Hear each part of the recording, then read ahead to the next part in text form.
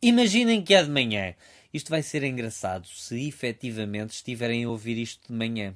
Imaginem que é de manhã, estou na estação à espera de um comboio que supostamente chega às, por exemplo, 8 e um quarto. Vocês têm pressa por alguma razão, ou porque têm de ir trabalhar, ou têm aulas, ou não têm nada para fazer e preferem ir passear a horas impróprias em vez de algo mais interessante como dormir.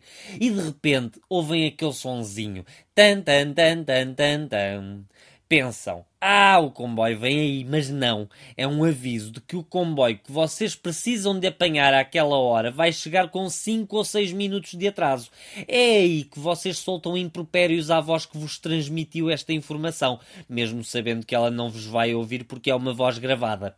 O comboio chega e atenção, isto é um pormenor importante. Imaginem que estão a ir em direção a Sintra reparam que o comboio está vazio e perguntam: Mas que raio? Ora, foi isto que me aconteceu na passada segunda. Toda a gente sabe que na linha de Sintra, de manhã, toda a gente vai para Lisboa. Ao fim da tarde, toda a gente vem de Lisboa. Portanto, tendo em conta que era de manhã, apanhar um comboio para Sintra devia ser estupidamente tranquilo. Entretanto, lembrei-me que há efetivamente pessoas que apanham o comboio entre o Oriente e Sete Rios. Apanhem o metro. Vão a pé, caminhada matinal. Não deem cabo dos horários dos comboios. Depois é óbvio que há atrasos. Para Lisboa é perfeitamente normal. Há muita gente a entrar e enlatar sardinhas não é fácil.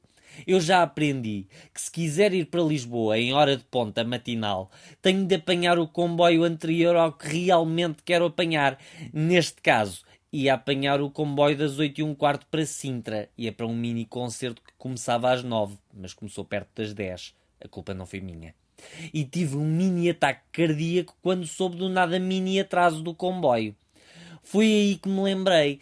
A CP tem um crónico problema com atrasos e não foi há muito tempo que, de modo a tentar resolver este crónico problema com atrasos, a CP resolveu introduzir todo um novo sistema de horários. Não só não resolveu o crónico problema dos atrasos, ainda conseguiu agravar o crónico problema dos atrasos. Acho que não era bem o que eles queriam. Ah, se há mais comboios, então não teremos sardinhas em lata. Pensaram eles, que claramente não andam de comboio se não tinham percebido que há indivíduos peritos em tentar manter a porta aberta só para que todos os amigos entrem, incluindo o Badocha que ainda não conseguiu passar por cima dos pórticos. E nas horas de ponta, as pessoas apanham o primeiro comboio que lhes aparece à frente. Não deixa de haver sardinha enlatada. As pessoas são teimosas e continuam a passar dois minutos da sua vida a tentar entrar num sítio onde não cabe uma agulha, mesmo que cinco minutos depois passe um comboio que vai exatamente para o mesmo sítio. Vá, CP, agora resolvam lá isso das sardinhas enlatadas. Avisem as pessoas que aquele não é o último comboio da vida delas. Mas não efetuem cocó com isto. Avisem-nas de uma forma simpática. Não desejo que elas se virem contra a voz gravada.